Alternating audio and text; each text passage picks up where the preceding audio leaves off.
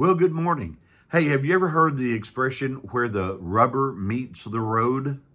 Uh, it's just meaning uh, there's one of those uh, moments of truth or an aha uh, moment. There's a joke about a lady that she uh, had all kinds of religious jargon all over her car, bumper stickers, little sayings, quotes, quips, whatever, all over her car. You could barely see the back of her car because of everything that was on it. Well, she was at a red light. The lady in front of her apparently was distracted using her phone and she was talking or texting or whatever. The light turned green. She waited uh, too long before moving. So the, the lady in this car decorated with religious jargon, just her temper just got away from her. She began to honk her horn and put her fist out the window and started shaking her fist. Said some very unkind uh, words Finally, the lady in front of her realized what was going on. She pulled through. The lady with the religious jargon uh, turned the corner. Well, a police officer pulled her over. Police officer walked up to her and she said, what I do wrong? He said, well, nothing except with everything going on with your car and what's on your car and the way you beha behaved, I just assumed you had stolen the car. Listen, I tell you, she, two things were going on. This officer was getting mixed messages. One, on one hand, she was a religious person. She was a person of great faith. She had all of this religious jargon on her car. Two, she was a woman who lost control. She had anger issues. They got away from her and she began to do and say things unbecoming of her. He was just kind of confused, right?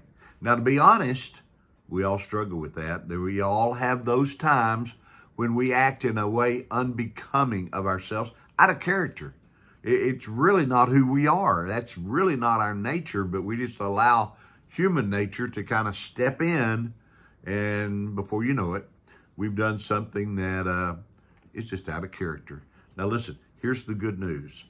These times don't have to be fatal, all right? They may be embarrassing as all get out, and we may have to do some apologizing if we can find that person to apologize to. We may have to confess. We may have to do some of those things, but these blip times don't have to be fatal. What we do is we do uh, set our minds to do better.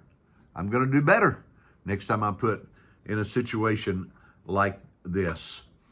I have some friends who own horses and they tell me, the best thing to learn about riding a horse is if you get thrown off or you fall off, you jump right back on and get back on that horse.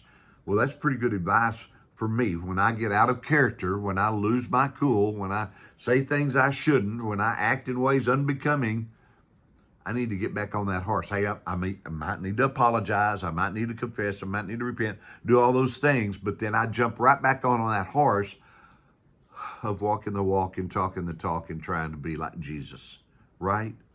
Those blip times don't have to be fatal.